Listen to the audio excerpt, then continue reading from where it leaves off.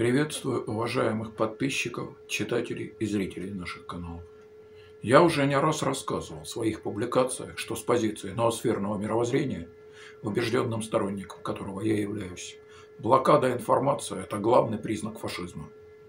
Равно, как я не раз уже подчеркивал, что путинский режим уже монополизировал все крупные средства массовой информации в России, и единственное, что ему сейчас мешает установить блокаду информации – так это то, что он проспал интернет. В такой ситуации закономерно ожидать, что режим попробует взять под контроль Рунет. И вот такие попытки последовали. Я решил остановиться на информации телеканала «Дождь». Напоминаю, это СМИ у нас официально признано юридическим лицом, исполняющим функции иностранного агента. В ролике канала, название лучше зачитаю, Противостояние России и интернета. Выплатит ли Google России многомиллионный штраф? Детально рассказано о таких попытках и дано экспертное мнение. Ситуация такая. Московский мировой суд на днях обязал компанию Google заплатить 7,2 миллиарда рублей штрафа. А затем, как говорится в Дагон, еще обязал заплатить 1,9 миллиарда рублей штрафа компанию Мета. Это новое название компании Facebook. Это штрафы за, уда- за неудаление нежелательной информации. В целом Google у нас наказывали уже 21 раз. Но теперь понятно, масштаб наказания совершенно другой. Речь идет о так называемых оборотных штрафах. То есть они могут достигать 10% всей выручки в России данных IT-гигантов.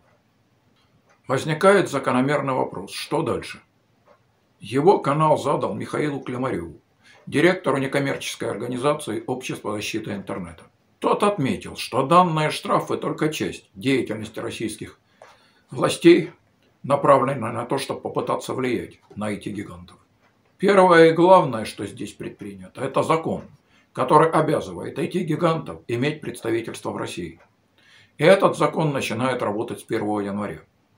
Михаил Климарев назвал его «Закон о заложниках» и пояснил без обиняков, что смысл в этих представительствах только один. Чтобы работников этих самых представительств можно было в России посадить в тюрьму. И используя это, вернее использовать это для того, чтобы шантажировать компании IT-гиганты. Он также отметил, что нового в этом законе ничего нет. Аналогично закон есть также в Турции.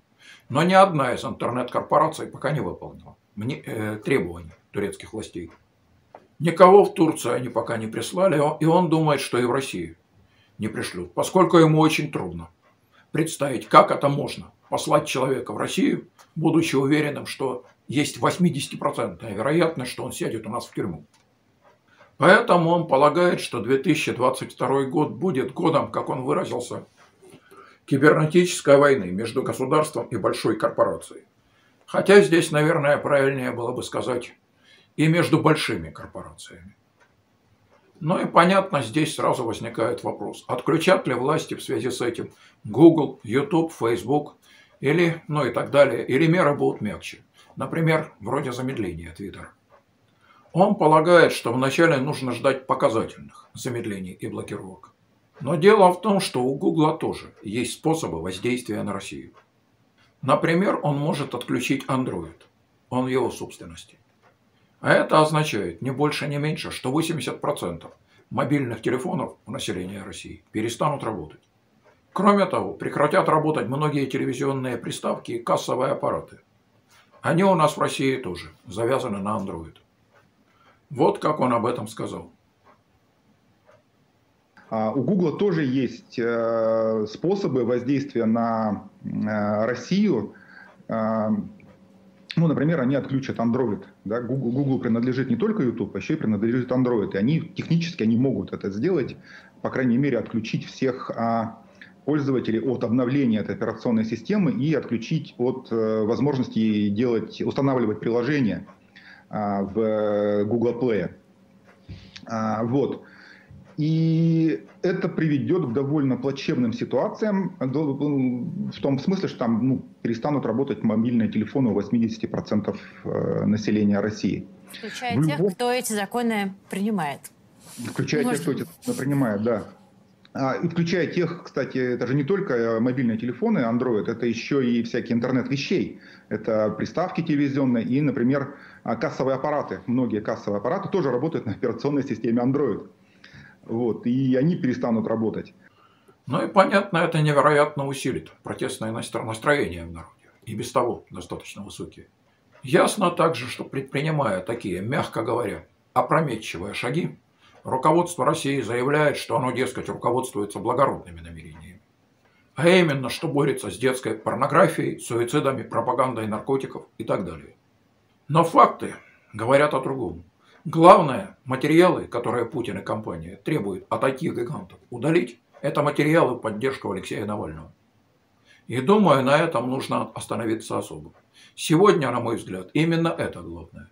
Вот как ведущая сказала об этом.